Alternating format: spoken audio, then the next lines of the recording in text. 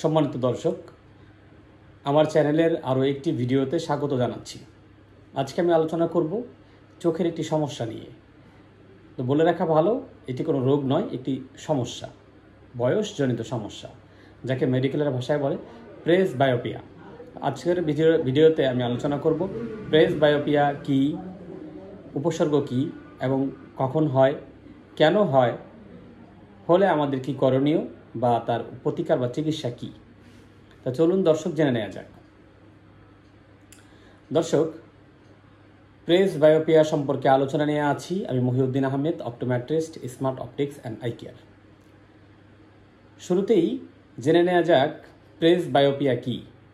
Press বায়োপিয়া নামটি অনেকের কাছে পরিচিত না হলেও অনেকে এটাকে বয়সজনিত চোখের রোগ কিংবা চলসে বা চালসে বা চল্লিশে রোগ হিসেবে চেনে থাকেন।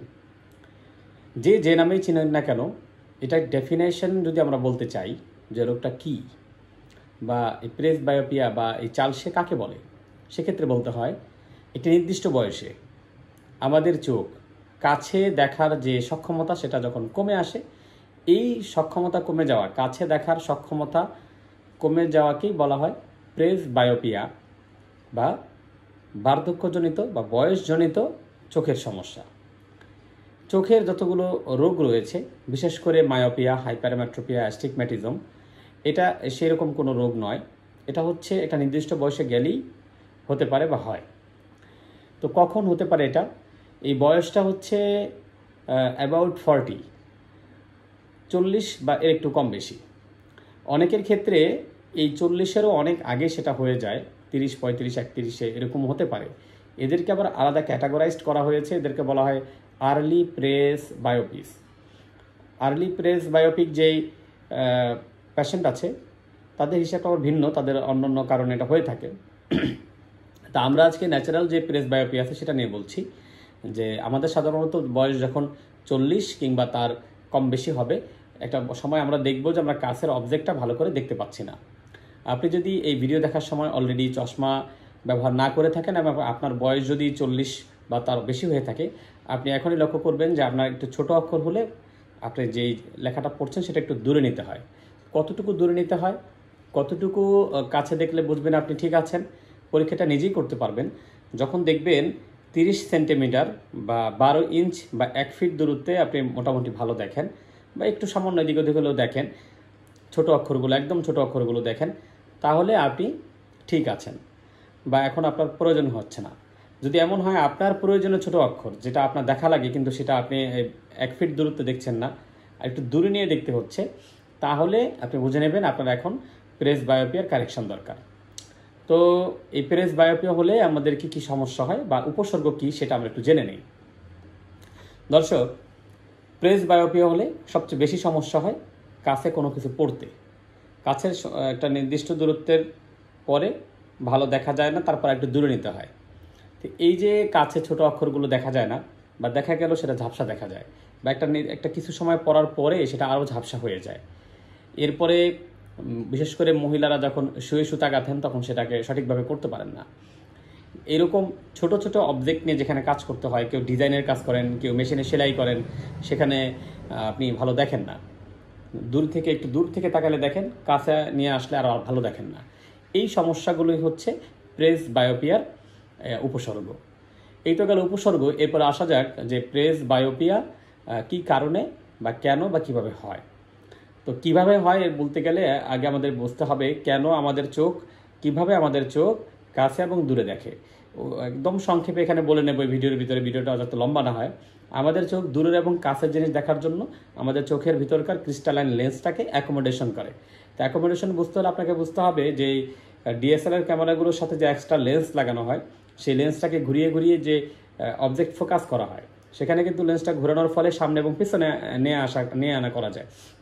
তা আমাদের চোখের ভিতরে যে লেন্স আছে, সেটা দূরের জিনিস দেখার জন্য চ্যাপটা হয় এবং কাছের জিনিস দেখার জন্য সে স্ফীত বা মোটা হয়।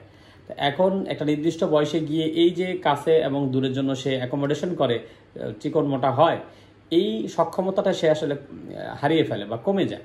সেটা অনেকগুলো কারণে কমে যেতে পারে, সে কারণগুলো আমরা এখানে বলব।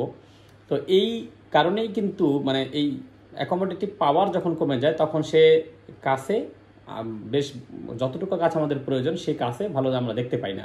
কিন্তু দূরে আমরা ঠিক দেখতে পাই। যারা এই সমস্যায় ভোগেন, তারা কিন্তু এই ক্লেমটা করেন যে, আমি দূরে খুব দেখতে পাই, দূরে একদম পরিষ্কার দেখি, কিন্তু আমি কাছে দেখি না। হ্যাঁ এটাই হচ্ছে প্রেস বায়োপিয়া বা বয়সজনিত চোখের সমস্যা। আজকে আমাদের একজন ক্লায়েন্ট আমাদের আই গ্লাস শপে তিনি এসে বলছিলেন যে আমি এতদিন মানুষকে বলছি, তারা কেন চশমা দেয়, তারা চার চোখ ব্যবহার করে, তারা ফ্যাশন করে, কিন্তু ইদানিং আমি, এখন আমি ডাক্তার দেখালাম, আমাকে চশমা দিয়ে দিল। আমি এখান থেকে পরিত্রাণের কোনো উপায় আছে কিনা, বা আমার চোখে আঘাতজনিত কারণে, বা কোন কারণে এটা হলো, আমার কোনো কিছু ঘাটতি আছে কিনা আমার দেহের, তখন তাকে আসলে বিষয়টা বুঝিয়ে বললাম। আরও ভালো করে বোঝানোর জন্য এই ভিডিওটি করা। তো এই সমস্যাটা আপনার অন্য অর্গান সব ঠিক থাকার পরেও এটা হতে পারে। এটা কেবলই বয়সের মতো। বয়সজনিত কারণে হবে। যেমন একটা বয়সজনিত কারণে আপনার চুল পাকবে, আপনার দাঁত পড়বে, আপনার স্কিন লুজ হয়ে যাবে, স্কিনে ভাঁজ পড়বে। এই বিষয়গুলো যেমন স্বাভাবিক, চোখে একটি নির্দিষ্ট বয়সে চল্লিশ ওভার হলে আপনি কাছে কম দেখবেন এটা তেমনি স্বাভাবিক। এটাকে স্বাভাবিকভাবে মেনে নিতে হবে। তো এটার চিকিৎসা রয়েছে, এটার ভালো দিক। তো এই যে বলছিলাম যে এই চালসে রোগ বা চল্লিশে রোগ কেন হয় রেসবেয় কেন কেন হয়, সেগুলোর ভিতরে চোখের অ্যাকোমোডেটিভ পাওয়ার কমে যেতে পারে, কমে যায়। সেই কমে যাওয়ার কারণগুলো রয়েছে এরকম যে আমাদের যে লেন্স রয়েছে, সেই লেন্সের ইলাস্টিসিটি বা এটা বড় ছোট হওয়ার যে সক্ষমতা, এইটা কমে যায় কিংবা লেন্সটা শক্ত হয়ে যায়। আর হতে পারে যে ফাইবারগুলো একে টেনে রাখে বা টেনে ধরে, যে মাসেলগুলো এর সাথে কাজ করে, এই অ্যাক্টিভিটির জন্য যতগুলো মাসেল বা ফাইবার যারা রয়েছে আশপাশে, এদের সকলেরই সক্ষমতা বা শক্তি কমতে থাকে। একটা বয়সে তো আপনি নিজেও শক্তি হারিয়ে ফেলেন। আগের মতো ভার উত্তোলন করতে পারেন না আগের মতো দৌড়াতে পারেন না। তেমনিভাবে আপনার চোখের মাসেলগুলো আগের মতো আপনার ক্রিস্টালাইন লেন্সকে অ্যাকোমোডেশন করতে, সহায়তা করতে পারে না। এই অক্ষমতার কারণে মূলত আমরা তখন কাছে কম দেখতে থাকি। দর্শক, এই পর্যায়ে আমরা এই সমস্যাগুলো জানলাম, কেন হয়, কীভাবে হয়, এবং এখন আমরা জানব এটার প্রতিকার বা এটার চিকিৎসা বলেন বা সমাধান বলেন, যাই বলেন না কেন, এটা। তো চশমার কথা তো আমরা শুনলাম যে আসলে এই সমস্যা হলে চশমা দিয়ে সেটাকে কারেকশন করা হয় যাতে কাছে আবারও সে পরিষ্কার দেখে।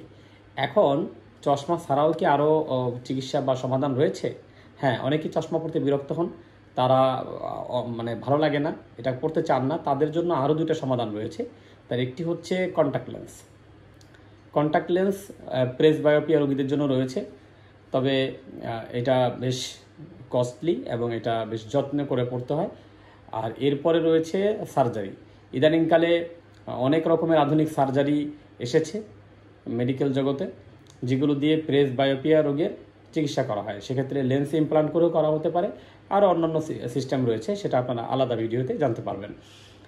এখন এই যে চিকিৎসার ভিতরে তিন চারটা আমরা ওয়ে দেখলাম, একটা হচ্ছে চশমা পরা, একটা হচ্ছে কন্ট্যাক্ট লেন্স আর একটা হচ্ছে সার্জারি তো এর ভিতরে আমার কাছে মনে হয়েছে, এবং আপনারাও আমার সাথে একমত হবেন, যে সবচেয়ে সহজ, সবচেয়ে মানে কম ব্যয় হয়, এবং সবচেয়ে নিরাপদ হচ্ছে চশমা। যদিও একটু অভ্যাস করতে সময় লাগে অনেকের ক্ষেত্রে, তবে এটাই হচ্ছে সবচেয়ে easiest solution for presbyopia দর্শক, আজকের ভিডিওর মূল উদ্দেশ্য ছিল প্রেস বায়োপিয়া সম্পর্কে আপনাদেরকে সচেতন করা। মনে রাখবেন, এটি কোনো রোগ নয়, এটি আমাদের জীবন জীবনের ধারাবাহিক একটি ঘটনা। একটা নির্দিষ্ট বয়সে গেলে প্রত্যেকেরই এই চশমা লাগতে পারে। কেউ ব্যবহার করেন? কেউ কারও প্রয়োজন হয়, কারও হয় না। কেউ ব্যবহার করেন, প্রয়োজন হয় না তারপরে ব্যবহার করেন। কেউ প্রয়োজন হয় তারপরে ব্যবহার করেন না। এটা তার ব্যক্তি ইচ্ছা। কিন্তু একটা নির্দিষ্ট বয়সে, বিশেষ করে চল্লিশ প্লাস হলে বা দু এক বছর এদিক ওদিক হলেই কিন্তু অনেকেরই কাছে কম দেখার প্রবণতা দেখা যায় এবং তাদের চশমা দিয়ে কারেকশনটা করতে হয়। আপনি নিজে নিজেই পরীক্ষা করতে পারবেন যে আপনি কাছে নির্দিষ্ট জায়গায় ভালো দেখেন কিনা। না দেখলে আপনি একটি অপটোমেট্রিস্ট কিংবা একজন চক্ষু বিশেষজ্ঞ বা চোখের ডাক্তারের চেম্বারে যাবেন। সেখানে আপনাকে ট্রায়াল সেটের মাধ্যমে এই পরীক্ষাটা করা হবে। করার পরে আপনাকে যে পাওয়ারে আপনি কারেকশন পাবেন, সেই পাওয়ার একটি চশমা ব্যবহার করলে আপনি আগের মতোই দেখবেন। দর্শক, যাবার আগে আপনাদের মনে করে দিচ্ছি, যারা আমার চ্যানেলে নতুন, তারা অবশ্যই চ্যানেলটি সাবস্ক্রাইব করবেন এবং পাশে থাকা বেল আইকনটি বাজিয়ে দিবেন। আর ভিডিওটি ভালো লাগলে অবশ্যই আপনি শেয়ার করবেন, যাতে অন্যরাও এখান থেকে উপকৃত হতে পারে। ভালো থাকবেন সবাই।